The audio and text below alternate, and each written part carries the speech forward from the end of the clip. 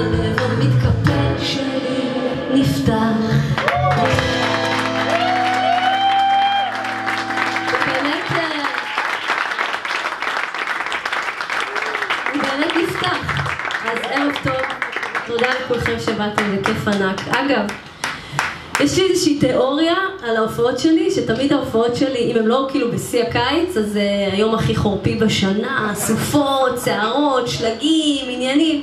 אז היום זה קצת בעייתי שזה יהיה היום הכי חורפי בשנה, אבל גשם ראשון, הופעה שלי, גשם ראשון. זהו, אז אנחנו נחגוג גם את הגשם הראשון ביחד, ושיהיה לנו בכיף.